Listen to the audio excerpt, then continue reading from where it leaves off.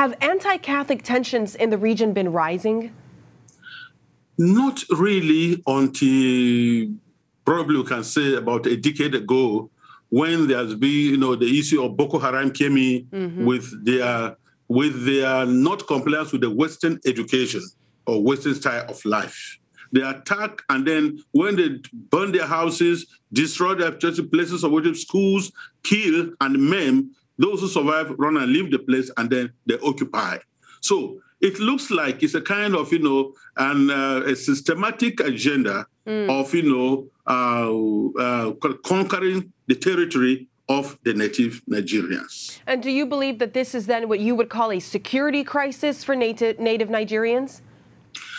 I, security crisis, yes, but I think the government should have a lot to answer to why this is continuously going on without even being checked. Within the month of March and May, there have been 12 attacks whereby church packed full with worshippers on Pentecost Sunday.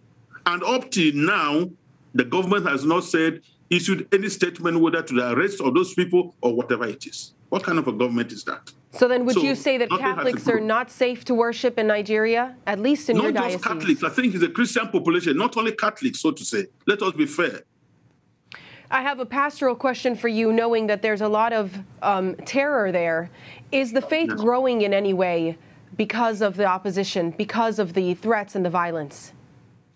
Uh, the, the faith is growing, but then it is we are like God let's say is growing I say in quality but not the expansion is not there because most of the places have been taken over by this group like in my diocese and some other places. So people can't get back. They are now clustered in the in the in the in those shelters or in those idp camps but then they still live their faith. So on that level the faith is still growing. But in terms of expansion one we may not have to build churches in those places. We may not have to put up hospitals or clinics in those areas because it's in, it is very impossible to go through.